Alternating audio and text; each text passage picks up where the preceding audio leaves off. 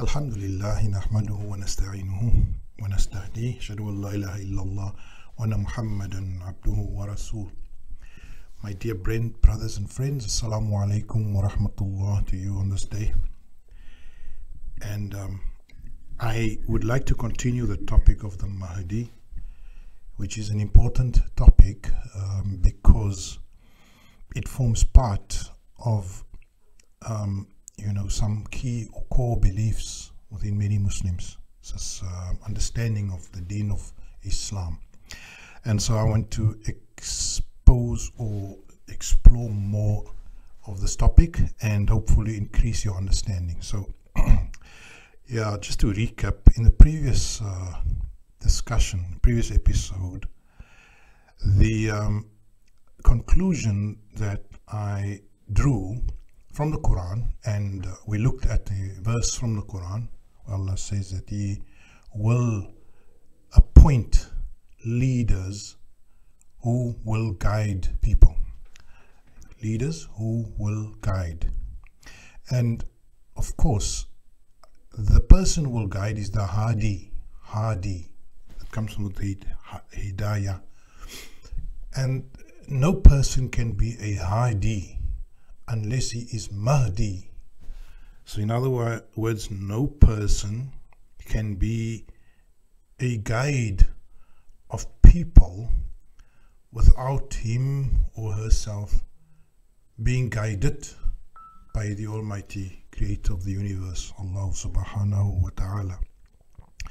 So we drew the conclusion in the previous episode that the Quran clearly um, sets out that leaders who are guided or who will guide people are to be appointed by Allah subhanahu wa ta'ala. And the word that the Quran uses is the word imam, a'imma. So the a'imma, in the context of that particular verse, and let me just show you that verse just for a matter of uh, completeness. This is the verse I'm referring to. It's uh, Surah 21, verse 73. And the verse says, And we made them leaders, guiding Yahduna bi amrina, men by our command. And we sent them inspiration to do good deeds, to institute adherence, and to promote moral refinement. And they constantly serve us and us alone. So, this is the famous chapter that we refer to in this discussion, or the famous uh, verse. So, the conclusion I drew in the previous episode was that Imamun Mahdiyun, a guided Imam, is something promised in the Quran to humanity. A guided Imam, Imamun Mahdiyun, is something which is a gift from Allah to the world. Imamun Mahdiyun, that is a guided Imam.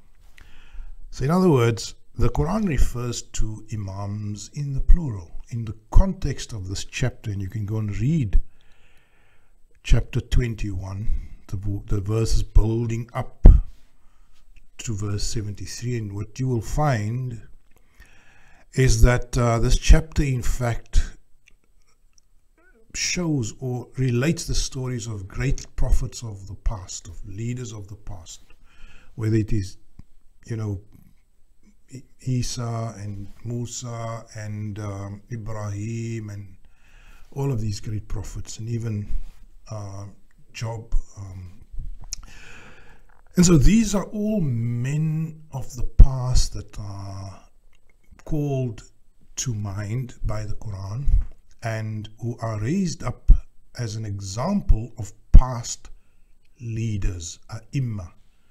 Al-imma, ai-imma, Mahdiyun. Imams that were guided right.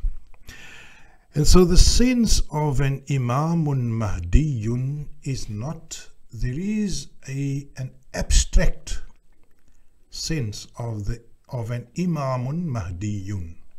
The abstract concept of a leader that is guided by God and that guides humanity is enshrined, enshrined in the holy text. It's enshrined in the Quran. It's there. We can't dispute the idea of an Imamun Mahdiyun, an Imam that is guided by Allah and that guides people. So then the big question then arises, and this is the question that was posed to me, is how does this fit in with the Imamun Imam Mahdi? Not now Imamun Mahdi, a guided Imam, but Al Imam Al Mahdi, the Mahdi, the guided Imam. And this is obviously a particular, you see now it's not referring to the general abstract, in the general abstract of the sense of a guided leader, whom we can find plenty of examples of. In fact, I will come to this, but a thought that I want to suggest to you is that, you know, in the Aqidah of the Zaydi, Zaydiya fiqh, or in the Zaydi uh, basic um, Aqidah, the Imam, the Imam is not solitary and singular at any given time. So if you if you study the Muzakiratul Firaq, the book of Mutawalli, then you will find that according to Zaydi uh, uh, Aqidah or core beliefs, the concept of imamat is compulsory. The idea of a rightly guided imam, a, an imam to be identified and to be recognized by people as suitable for leading the community, that idea is a core belief. Of course, it is also a core belief in the Ithna Ashari or the Imami school of thought. But there, it is, it is confined to 12. So the difference between the Zaydi and the Imami schools, which are both Mu'tazila schools, they are both rationalist schools. Let me just remind you there. In other words, they set their apart from the Ahli Sunnah in the sense that they adopt rational, logical reasoning as a basis to arriving at sound knowledge and understanding. So both the Zaydi and the Imami both adopt the idea of the compulsory nature of an Imam. So there cannot be a Muslim community without an Imam. Based on this verse, based on, on the verse that we have shown here, that Imamat, the fact that there has to be a rightly guided Imam is compulsory. It's not, it's not a matter of luxury, it's not a sunnat, it's not a a, a supererogatory, as they say, you know, optional extra to Islam. It is the, the fact or the requirement for Muslim, for the mu'mineen to identify or to arrive at a leader is compulsory. In fact, it is a prerequisite. You cannot, you cannot have a community without an imam. It is a requirement of being an, a Muslim or a, a community of believers, of mu'mineen. That is, at least according to the Ithna Ashari, the 12 uh, Shia, and the Zaydi, right? And so the concept of imamat is non-negotiable, non-negotiable. And you know what? To anyone who takes the view that the Shafi'i mazhab says that any sinner or any person who is a corrupt person can lead the Muslim community. That is conceding Allah's world to a sinner. And how can we concede the world to a sinner? Is that not conceding the might and the supremacy of Allah? You know, think about it. So I personally embrace and endorse the idea of the need for any community of mu'mineen to hasten to identify the most suitable person there to serve as the imam or the rightly guided leader. Right, so imamun mahdiyun is people must attempt to identify an imam that is on guidance.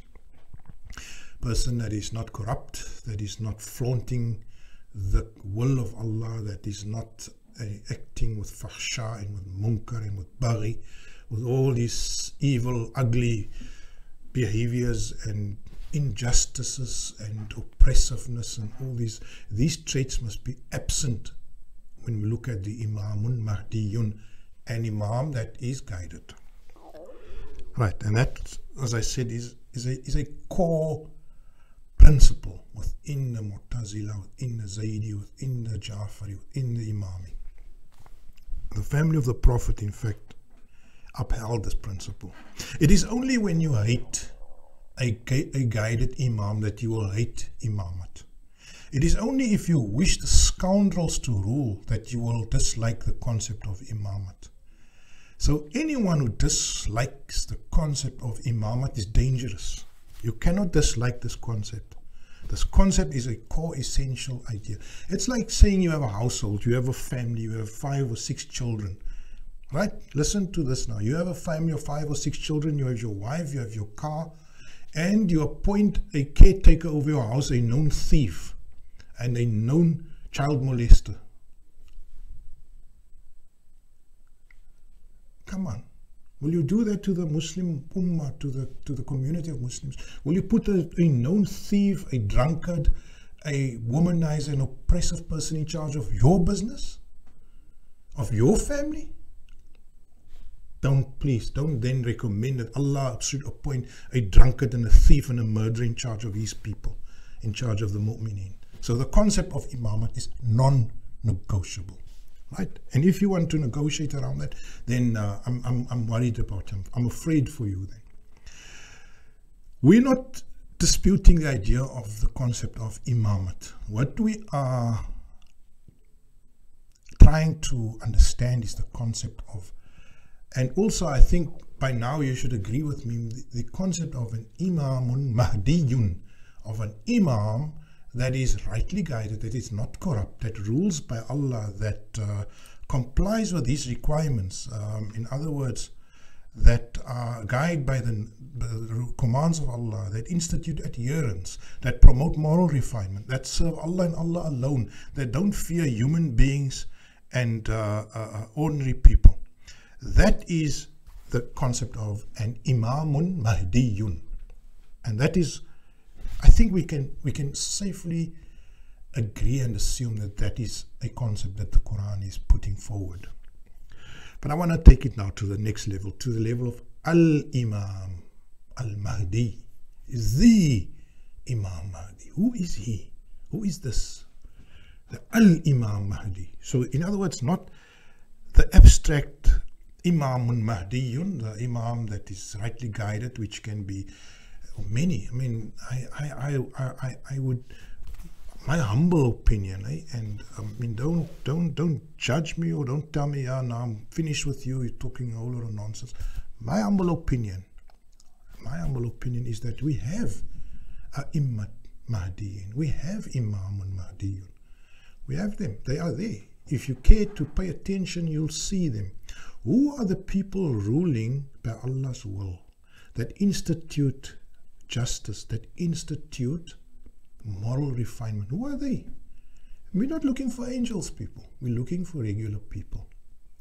And if you go around the world and you see where those people have established communities, where people are instituting moral refinement, where they are guiding other men by what Allah has revealed, where they promote adherence to what is good and what is right, you will be able to find imams, even in your own circles.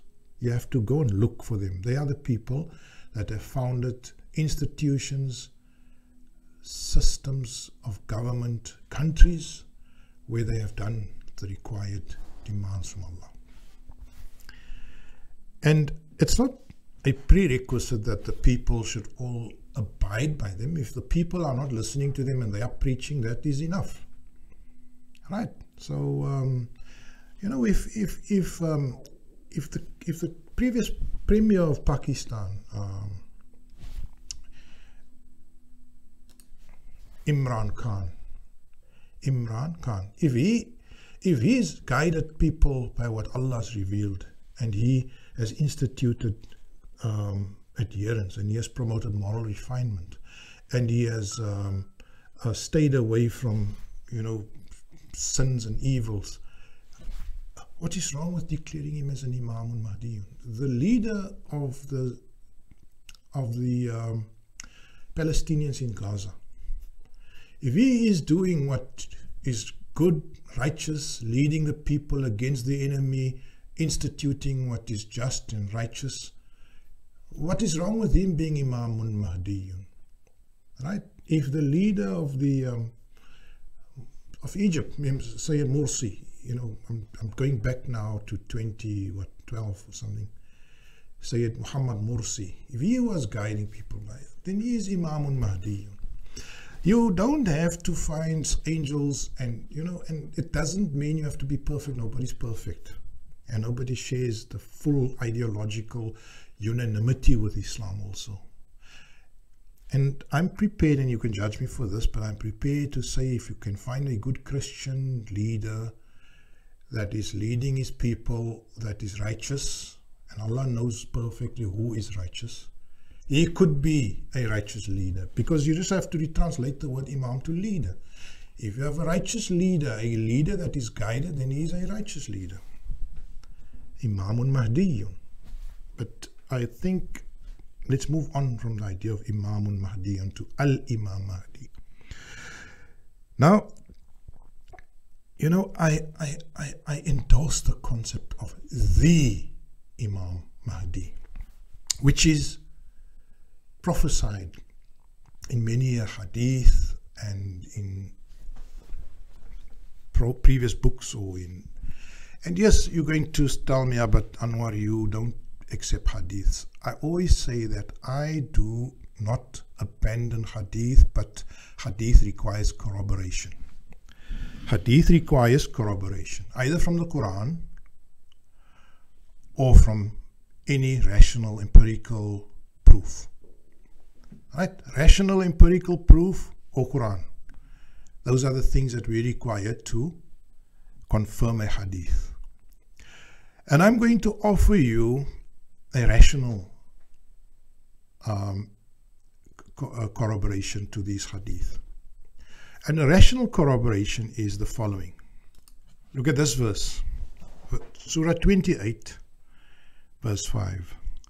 وَنُرِيدُ أَن نَمُنَّ عَلَى الَّذِينَ اسْتُضْعِفُوا فِي الْأَرْضِ وَنَجْعَلَهُمْ أَئِمَّةً وَنَجْعَلَهُمْ الْوَارِثِينَ Right, we have the verse here. We have the nas, we have the text. This is our input data here. We wished to be gracious to those who were being depressed in the land and to make them leaders in faith and make them heirs. Just stand still here, reflect. Reflect on this. We wished to be gracious we wished to be favorable or to favor them or to give them the benefit, to benefit those, namunna, to those who are being depressed or oppressed in the land, those who are suppressed, who are marginalized, and to make them leaders and make them heirs. The concept in the Quran is that the oppressed will win the day eventually. The prophecy of the Quran, the prediction of the Quran, the eschatology of the Quran is that the oppressed will end up ruling. The oppressed will end up ruling. The oppressor will be defeated. Very, very important verse here. We have to live with this certainty that we are not living in a world that will suffer defeat by the enemies of God, but that the oppressed will eventually win through and achieve victory. But there's more verses. There's another important verse. Look at this verse, yeah. Surah 23, verse 1. The believers must eventually win through. قد أفلح المؤمنون قد أفلح المؤمنون The promise is there. Those who endorse truth, who endorse justice, who endorse the supremacy and the majesty of Allah, God Almighty, must eventually uh, uh, uh, be victorious, must prevail in the end. So, what are we saying? If we can deduce from the Quran that the mu'mineen, that there will be a global victory across those who oppose and who deny truth, then what can we assume? That there will be a grand confrontation. There will be a grand showdown. And it is in this grand showdown, in this global confrontation of truth and error, it is in this global war between good and evil that the concept of the Mahdi becomes an inescapable concept, the leader. Because there can be no global confrontation without a global organized force of the mu'mineen. And when the mu'mineen are organized at a global level, the concept of Al-Mahdi Al-Imam Al-Mahdi, the supreme leader, the ultimate leader, is inescapable. You cannot then but deduce from a rational perspective that if you envisage a grand confrontation between good, good and evil, a victory of those who are good, then you cannot but deduce that the Imam Al Mahdi has to form part of that end game. And that is where I bring the corroboration of the Quran, the rational understanding of one nation, one mu'mineen, one group of mu'mineen confronting evil under one leader being a part of Islamic eschatology. And in that sense, one can then find corroboration of the hadiths. Let me summarize again because I want to keep this not that long. In the previous episode, I discussed with you and I showed to you the Quran that Imamun Mahdiyun, a guided Imam, is a reality from the Quran. The Quran makes that, creates that understanding. Right? It is not just a reality, it is compulsory on us to identify Imamun Mahdiyun wherever we are. If there are three of you, you need to identify one of the three as, as Imamun Mahdiyun. If there's a country, you need to identify the leader that is Imamun Mahdiyun. When there are 10 countries, they need Imamun Mahdiyun, Immat Mahdiyin. But when we are talking about coordinating and confronting evil at a global level. When we refer to the final battle, the great battle, in which all evil will be confronted and defeated, then we talk Al Imam Al Mahdi. Now we are not talking about Imamun Mahdiyun, we're talking about the Imamun Mahdiyun, the leader, the great leader. And I think that is you know, the question that was raised, do you, Anwar, accept the idea of the Mahdi? Yes, based on purely Quran and a rational analysis of Quran, you cannot escape the idea of Mahdi, Imamun Mahdiyun, a, a righteous leader wherever you are, but also Al-Imam, Al-Mahdi, the leader that will arise. Yes, if we understand by occultation that that leader is not yet recognized, then I'm okay with that concept of occultation. If you want to believe that that man is born and is 1,100 years old already and is in contact with some people, if you have the proofs, please send it to me. If you believe that somebody is already a Mahdi, he was born in the year 30, uh, 3, 280 or after the Prophet, and he's now more than a thousand years old, and he's you know what? Let me just address the problem with that concept.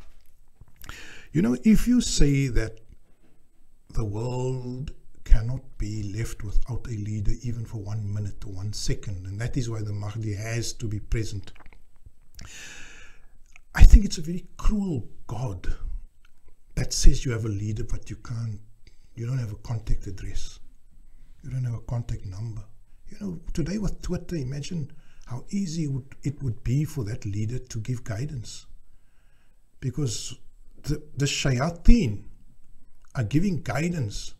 The a'immatul shar, the, the shaitan, the, the shaitanic imams are using all the technology to guide people. Why would Allah keep the righteous imam somewhere in a bush, secret from people? I, I think it interferes with the concept of the justice of Allah, which is another core belief in the um, Mu'tazila rationalist school and also the Zaydi and the Nashri, all the rationalist schools. So I cannot buy the idea that there is an Imam but he is not accessible. He doesn't have an address, he doesn't have a contact number. And he, he appears to some people, but now those people would, they, they haven't said that he's appeared to them. So, I mean, there's nobody that can tell me that I've spoken to the Mahdi and he's alive and he's living in, you know, Samarra, somewhere in, in Iraq. So I can't, I need, there's no proof for me, unfortunately. The concept of Mahdi, I have to put it forward as the Imam that will arise, endorsing those hadith, the eschatology, uh, you know, Islamic eschatology of the final confrontation, I can even endorse the idea of occultation in a particular format where it means that there are Immat Mahdiyin, but they are unrecognized because people refuse to recognize them. And so you have a country like Saudi Arabia, might there might be a rightly guided Imam somewhere in that country who is sitting in jail perhaps, you know. And that is a lot of the uh, Imam will be killed or will be jailed or will never ever become recognized. And that is the curse of mankind on themselves, not of Allah. Allah's favor is there for them, and people choose to deny the favors of Allah. The, the ai of Allah are being denied. So I conclude on that point, my brothers and sisters. Um, again, I say to you that uh, the concept of Imamun Mahdiyun, a Mahdi, is common. It is, it is a required concept from the Quran. The concept Al Mahdi is also, if you deduce that there will be the final confrontation and the ultimate victory of good over evil, then you must, in that understanding, because how can you not have one leader but you have a global victory? You know, it's by, by means of inductive reasoning picture a world of Muslims that are divided between five different groups and different sects, how will they achieve victory? It's impossible. So if victory is going to take place of the mu'mineen, or all those who are righteous and endorse truth over the evil, there has to be one coordinating leader, one leader that will lead that battle. And that is the concept of Al-Mahdi, Al-Mahdi, Al-Imam Al-Mahdi which we need to endorse with the corroboration of the Quran and rational thinking, which we need to corroborate the hadith that speak about the, the, the final battle and the ultimate confrontation between Al Mahdi. Quickly bringing in the Dajjal, Al Masih Dajjal. Uh, I'm not, I think we will do a separate chapter or separate, dis- separate discussion on that.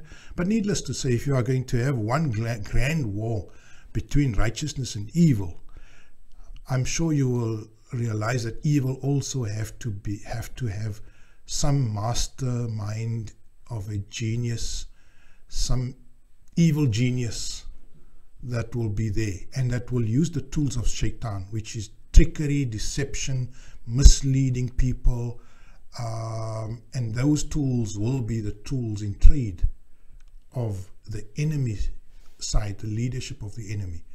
And so we will have a separate discussion on that. Walhamdulillahi Rabbil Alameen.